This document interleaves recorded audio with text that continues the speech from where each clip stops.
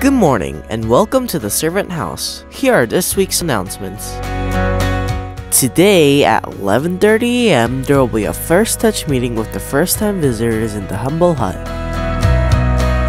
After the worship service, there will be a life group meeting in the Servant Intercessory Prayer Room.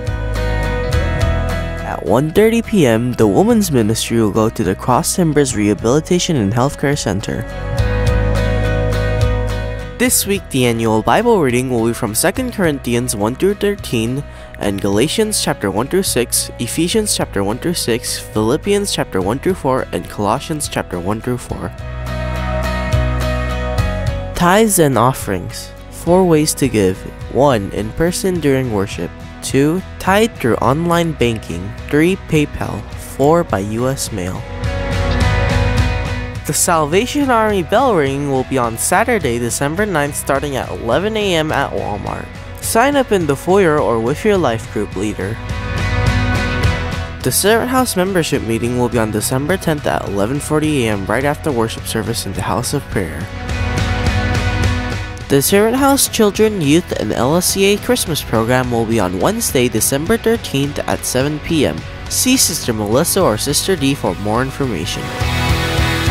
The Women's Christmas Fellowship will be on Saturday, December 16th at 6 p.m. See Sister Abby for more details. For all new and prospective church members, there will be a Servant House orientation on December 17th after the morning worship service. Childcare and lunch will be provided. Sign up sheets will be in the foyer and see Sister Deborah Hardy for more information. Night to Shine will be on February 9th, 2018. Sign up sheets will be in the foyer or see Sister Patrice McKenzie for more information. Weekly Do the Membership Action Plan 7s. Pray the acts at least 7 times daily. Adore God, confess sins, thank God, supplicate. Provide 7 acts of kindness to our family. Provide 7 acts of kindness to our life groups. And invite 7 unchurched people to worship.